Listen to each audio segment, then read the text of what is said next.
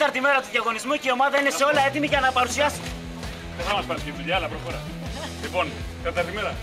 Τέταρτη μέρα. Πολυτεχνείο Γρήτης, Πολυτεχνείο Γρήτης.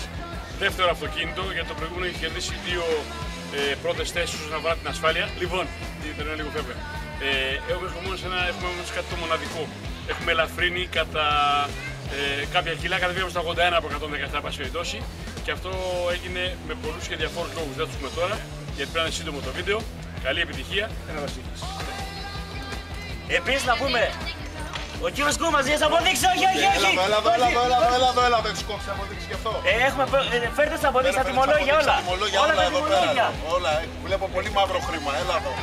Δείξε εξ αποδείξεις. Όλα τα έχουμε, εδώ πέρα τα έχουμε όλα. Ε, δεν ξέρω, δεν ξέρω. Να σας τα δείξω, να σας τα δείξω. Δείξει Να τιμολόγια, σας τα βλέπω δείξω. πολύ μαύρο Εδώ χρήμα. πέρα, εδώ πέρα, Μαύρο εδώ πέρα. αυτοκίνητο και μαύρο χρήμα βλέπω. Ένα σαμπλιτσάκι. Ελίτσες, ελίτσες. Σαμπλιτσάκια. Τι. Δεν δεν λαδώνουμε εγώ, δεν Δεν λαδώνουμε. θέλω να σας τα, να σας τα ίσως, θέλω λίγο Όχι, τα όχι, παιδάκι. Δεν λαδώνουμε, δεν λαδώνουμε.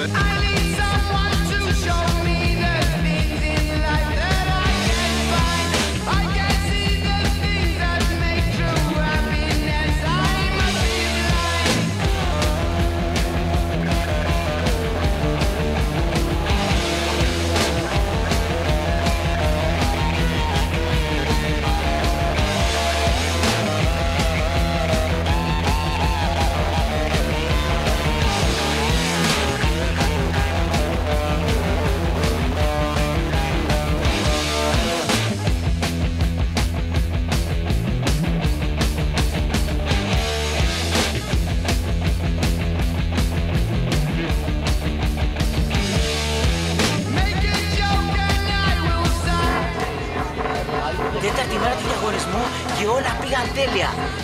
Δοκιμάσαμε το όχημα και αύριο είμαστε έτοιμοι να τρέξουμε. Ιωάννης Συνάρης από το Rotterdam για το Tucker TV.